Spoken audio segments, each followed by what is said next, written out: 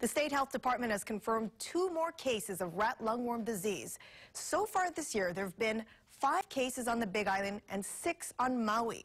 So how did the latest patients get sick? Alex Serbal is getting answers tonight. Alex. Marissa, state officials tell me six recent cases came from the Big Island and they got sick after drinking kava that had been left outside overnight. They didn't realize slugs had gotten into it until they had already drank most of it. Only two of these cases have been confirmed.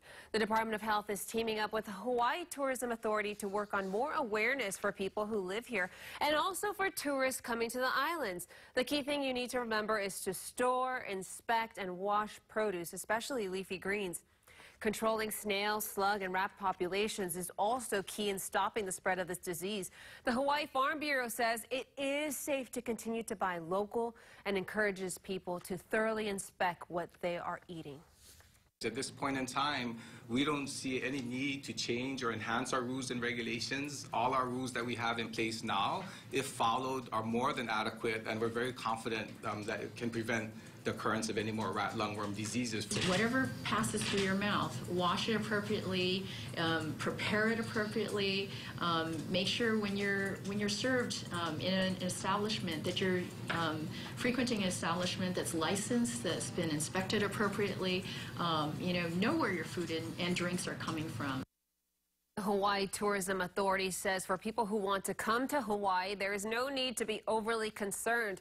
The Hawaii Department of Health is not calling this an epidemic, but says we have seen an increase in the disease because there is more awareness about it. Alex Serbal, KHON 2 News. Alex, thank you. One of the people who got infected with the disease told us she got it from eating lettuce. To make sure that doesn't happen to you, make sure you really wash your fruits and veggies well. That means for your lettuce, peel off each individual leaf to look for any hidden snails or slugs. You can also use a soft brush if you want. There will be two meetings on Maui. The first is for farmers about how to protect your crops. That'll be at Kula Community Center tomorrow at 6 p.m.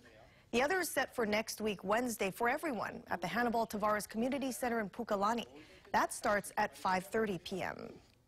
And we streamed the entire press conference about the new cases online, and we will continue to have the very latest information on the rat lungworm cases, both on air and online at KHON2.com.